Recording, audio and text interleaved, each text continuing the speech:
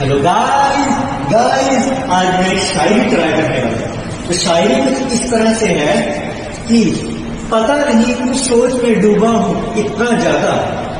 पता नहीं क्यों सोच में डूबा हूँ इतना ज़्यादा कि होश और आवाज़ गवा बैठा हूँ। पता नहीं क्यों सोच में डूबा हूँ इतना ज़्यादा कि होश और आवाज़ गवा बैठा हूँ। समझ नहीं आता। समझ नहीं आता कि रास्ता कहाँ है। क्योंकि मैं तो हुजूर रास्ता ही गवा है।